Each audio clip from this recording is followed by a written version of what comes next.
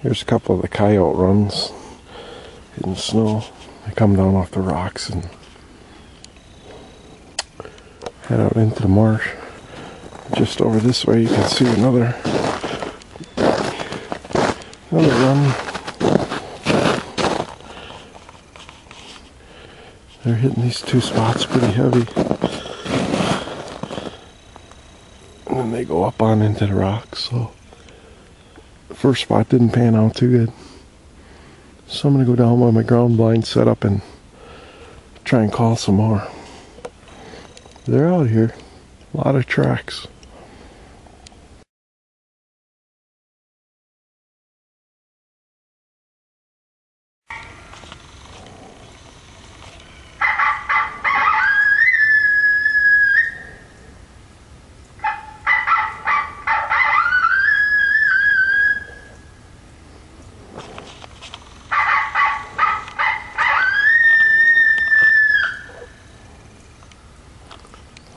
Tracks down here.